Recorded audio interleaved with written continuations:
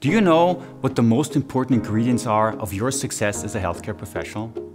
Well, I've asked myself this question many, many times. My take is you need three very important things. That is competence, communication skills, and reputation.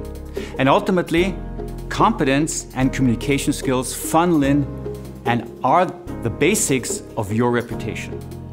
Now, in this three-part lecture series, I want to teach you how to become competent and how you can learn because learning is the foundation, again, of competence.